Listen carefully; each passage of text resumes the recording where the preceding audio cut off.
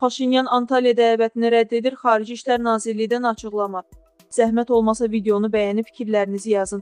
Ermənistanın baş nazirinin Türkiyəyə səfəri və diplomatik forumda iştirakı müzakirə olunmur. Yeni Sabah az xəbər verir ki, bu barədə ölkənin Xarici İşlər Nazirliyinin mətbuat katibi Vahan Unanyan öz Facebook səhifəsində bildirib. Ermənistanın baş naziri Nikol Paşinyanın Türkiyəyə səfəri və Antalyadakı diplomatik forumda iştirakı müzakirə edilmir deyə Unanyan yazıb. Xatırladaq ki, Türkiyənin vitse-prezidenti Fuad Oktay Paşinyanın martda Türkiyəyə səfər edəcəyini və Antalyada keçiriləcək diplomatik forumda iştirak edəcəyini bildirmişdi. Ruslar dedi ki, ermənilərə maşının kabininə baxmağa qoymayın su qovuşanda nə baş verib. Azərbaycana məxsus yük maşınlarının Rus sülh məramlı kontingenti ilə yanaşı Qarabağda separatçıların polis uniformasını geyinən bir şəxs tərəfindən də yoxlanılması videosu narazılıq yaradıb. Cümə axşamı günü Rusiya Müdafiə Nazirliyinin rəsmi internet saytında yerləşdirilmiş videoda görünür ki, üzərində Azərbaycan telefon nömrələri və latın hərfləri ilə Qarabağ sözü yazılmış bir yük maşını saxlanaraq yoxlanılıb. Yoxlamada sülh məramlılara məxsus formada olan 2 nəfərli yanaşı əynində Qarabağdakı separatçılara məxsus polis geyimi olan bir kişi də iştirak edir. Yoxlanmış yük maşınının aid olduğu yerli şirkətlərdən biri baş verənləri BBC News Azərbaycancaya təsdiqləyib. Rusiya Müdafiə Nazirliyinin məlumatına görə video Azərbaycana məxsus 20-yə yaxın yük maşınının daxil olduğu iki kartejin su qovuşan Qızqalabəng istiqamətində və əksinə hərəkəti zamanı çəkilib.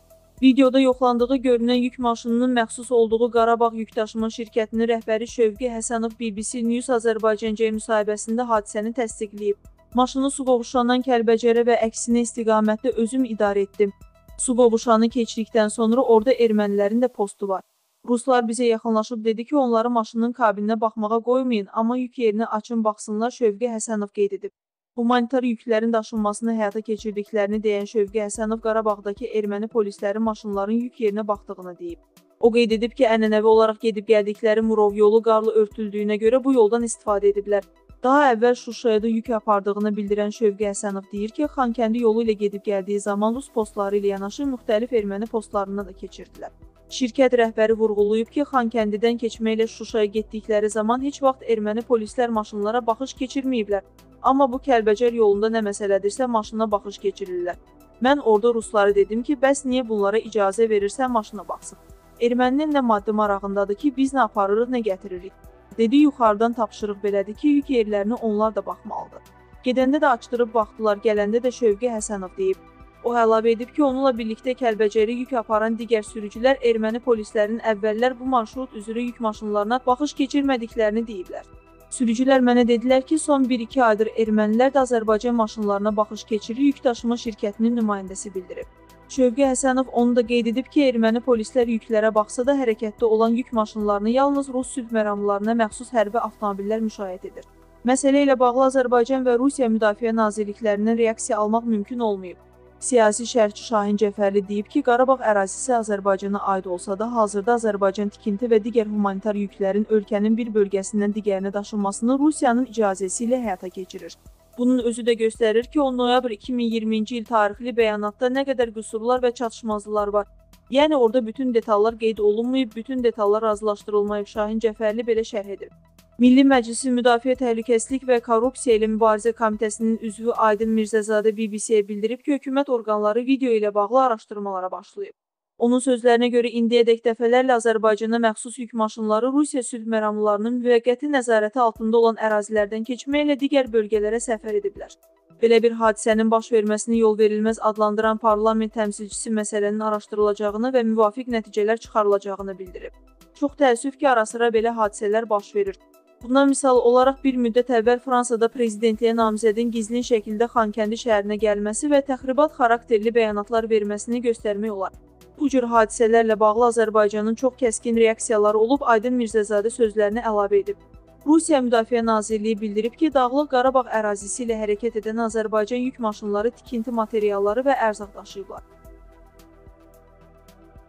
Birinci Qarabağ müharibəsi zamanı 3890 Azərbaycan vətəndaşı itkin düşüb. Vətən müharibəsindən indiyədək mina partlayışında 36 nəfər həlak olub.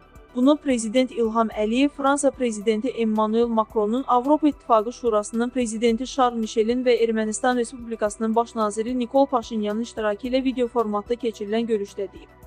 Müzakirələr zamanı Prezident İlham Əliyev 1-ci Qarabağ müharibəsi zamanı itkin düşmüş şəxslərin taleyinin kütləvi məzarlıqların yerinin müəyyənləşdirilməsi, işğaldan azad edilmiş ərazilərin minalardan təmizlənməsi sahəsində Azərbaycana beynəlxalq dəstəyin artırılması, dəmir yolu və avtomobil yolu ilə nəqliyyat dəhlizinin açılması məsələsinə xüsusi olaraq diqqət verib. Dövlətimizin başçısı 1-ci Qarabağ müharibəsi zamanı 71 uşaq, 267-si qadın və 326-sı ahıl olmaqla ümumilikdə 3890 Azərbaycan vətəndaşının itkin düşməsini qabardıb. Prezident İlham Əliyev qeyd edib ki, Vətən müharibəsinin başa çatmasından bəri mina partlayışı nəticəsində 36 nəfər Azərbaycan vətəndaşı həlak olub, 165 nəfər isə yaralanıb. Erməni nəşrindən şok iddia. Rusiya raketləri geri istəyir. Rusiya Müdafiə Nazirliyi Ermənistana satdığı raketləri geri almaq üçün hərəkətə keçib. Alpaz xəbər verir ki, bu iddia ilə ermənilərin Fakt gündəlik nəşri çıxış edib.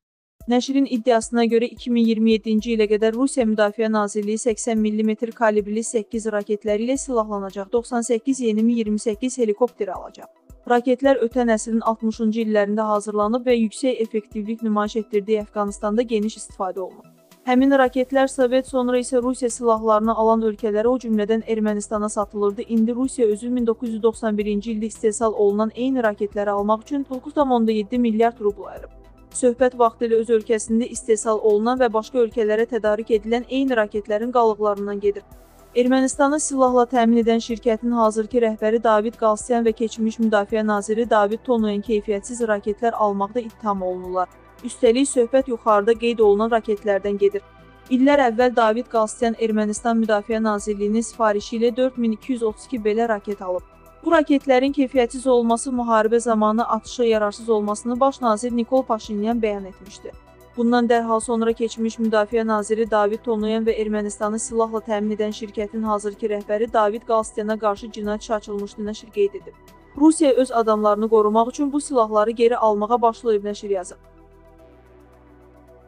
Sabah Bakıda sulu qar yağacaq. Bakıda və Abşeron yarımadasında fevralın 5-dən 6-sına keçən gecə yağışın bəzi yerlərdə sulu qara keçəcəyi, səhər kəsiləcəyi, gün ərzində əsasən yağmursuz keçəcəyi gözlənilir.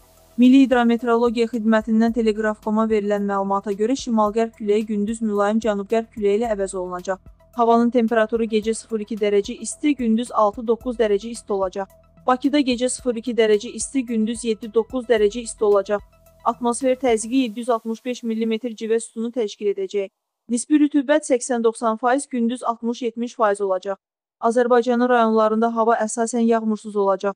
Lakin gecə və səhər bəzi yerlərdə arabir yağıntılı olacağı, qar yağacağı gözlənilir. Gecə və səhər ayrı-ayrı yerlərdə duman olacaq.